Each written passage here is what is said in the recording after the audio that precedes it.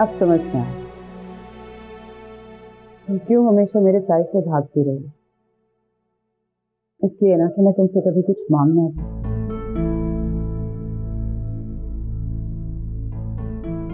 मैं आपके मांगने से नहीं डरती, अम्मी। आपके छीनने से डरती आप छीनने पे आती हैं तो बेटियों से उनकी मांग। शोहर से उसका एतबार छीन लेती हैं।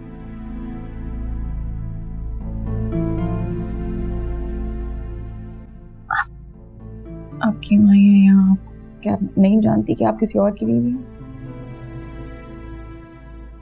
मुझे ये नेक परवीन वाला सबक मत पढ़ाओ।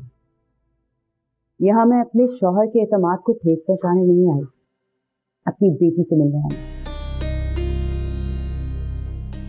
बेटी के लिए इतनी परेशान है तो बेटी को बुला लेती खुद क्यों आई हैं यहाँ? तुम अपने काम से काम रखो। मैं कहाँ आती हूँ कहाँ जाती हूँ तुम्हें इससे सरोकार नहीं होना चाहिए।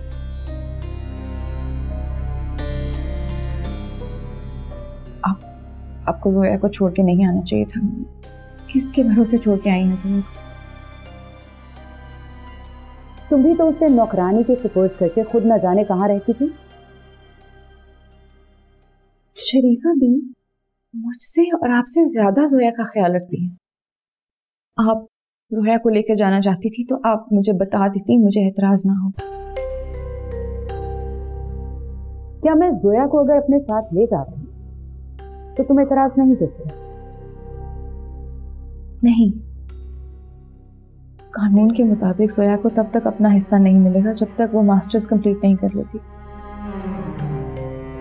ये शर्त किसने रखी? ये शर्त नहीं है। अदालत ने जोया की कम अमरी को देखते हुए सिक्योरिटी दी है।